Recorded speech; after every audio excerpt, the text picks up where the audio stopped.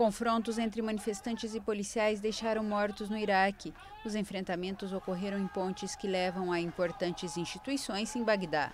Dois manifestantes morreram após serem baleados, segundo fontes médicas. Uma terceira vítima não resistiu a uma granada de gás lacrimogênio.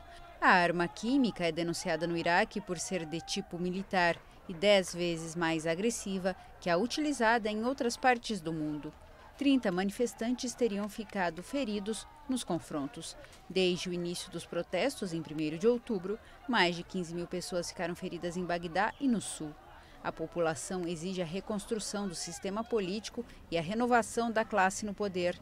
Na capital iraquiana, os manifestantes ocupam a emblemática Praça Tahrir dia e noite.